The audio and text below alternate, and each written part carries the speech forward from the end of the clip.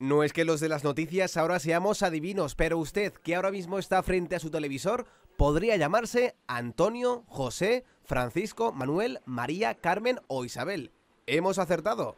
Y es que un gran porcentaje de personas de nuestro país se llaman así. Seguimos siendo clásicos, pero cada vez menos. Nombre es cristiano, vamos, de, de andar por casa. Sin embargo, y por extraño que parezca, usted que ahora mismo ve este informativo esperando a que acabe para echarse su cuarto de hora de siesta, también podría haberse llamado Canuto. A mí mi padre me lo pone y me acuerdo de él toda la vida.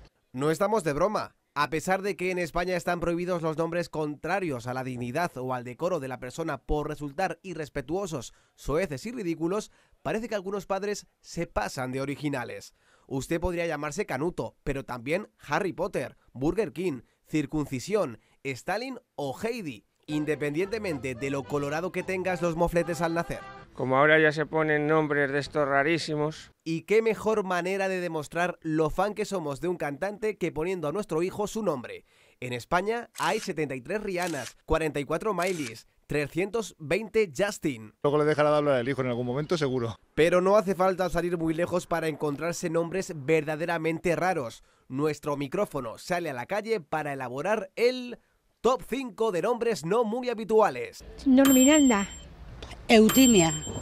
Eufemio. Pues no sé, Aniceto, por ejemplo. Sí, segundo. A ver, que no sé en qué estarán pensando, que luego el niño tiene que vivir con eso. Además, hay árboles genealógicos que bien parecen un trabalenguas. Pues una prima de mi mujer se llama Fredelvinta y un hermano de esta señora, que también es primo de mi mujer, Ari- Aristónico. Un tío que tenía mi mujer, que ya ha fallecido, Istio.